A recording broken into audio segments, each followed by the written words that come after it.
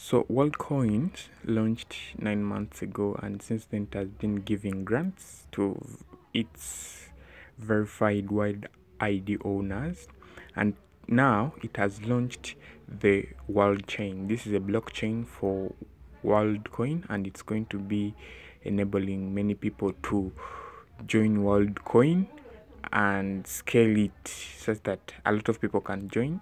However, currently there are more than 10 million people with world IDs and only around 5 million of them are verified.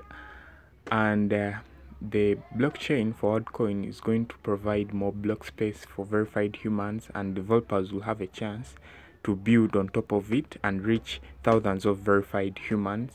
And it's going to be open source and permissionless for more information you can pause and read this video or check the description. Thank you for watching. Subscribe